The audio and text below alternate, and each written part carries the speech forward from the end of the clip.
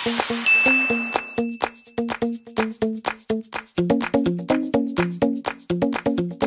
ranging from 175 to 195 kilometers per hour are now ripping through the city, accompanied by rain, thereby sending alarm to low-lying areas, especially along the riverbanks. As of 7 p.m., Marikina, Malabon, San Juan, and various parts of Cavite and Laguna have all been placed on high alert for floods and storm surges. Classified to ah. As in, kahit best friend ko hindi niya alam to. Ano ako, bata? Cross my heart. I swear. Kumatay man yung boyfriend mo. Gago.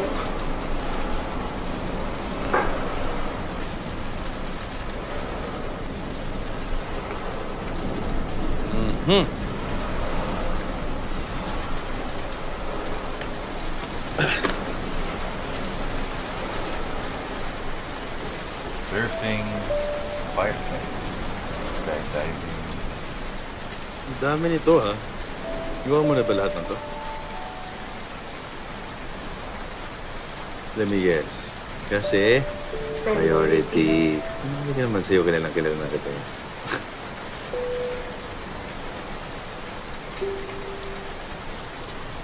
In 15 minutes, pumunta ka sa warehouse. Ha?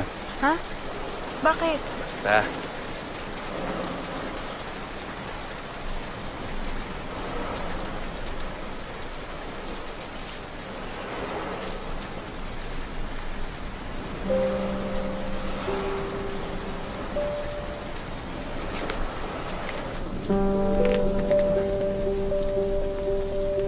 Oh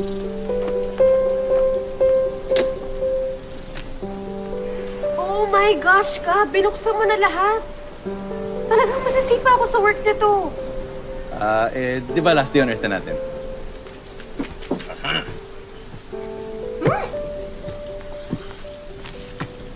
Teka, paano mo ba ito napailaw? Battery operated lahat.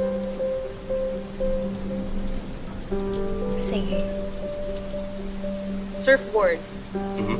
Sa bubble wrap. Ano ka ba? Konting imagination lang yun. Ba? Oh. Diba? Sir? Ayun na. Okay ba? Bakit? Pwede na. Ano ginagawa mo? Nagsa-surf. Oh, Oh? ganyan pala mag-surf. Ah, ganito mag-surf sa amin. May mask. Oh, oh, Tapos may paa. oh. Eh, for safety purposes to eh. Alam ko ba takot ka sa dagat? Nandiyan ka naman eh.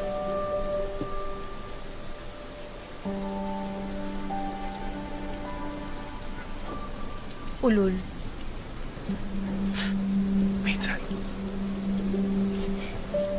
Tara, surf tayo. Uy, grabe. Yung alon. Nakapagod din pala mag-surf. Ay, wala nga palang paa. Okay to.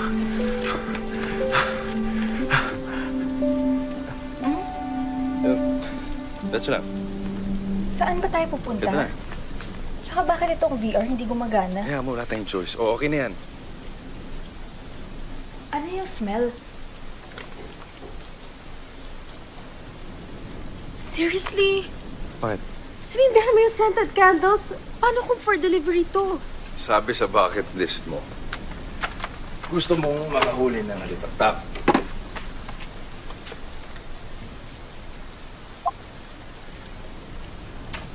Yeah, ito.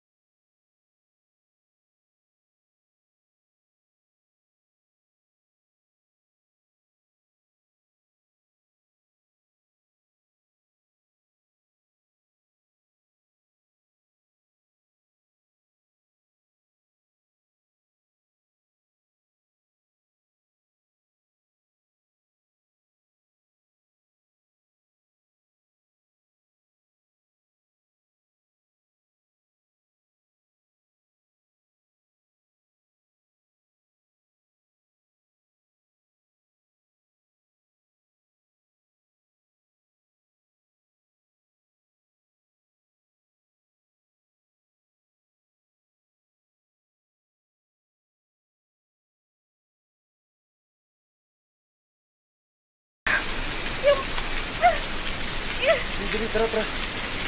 Tara, tara, tara, tara.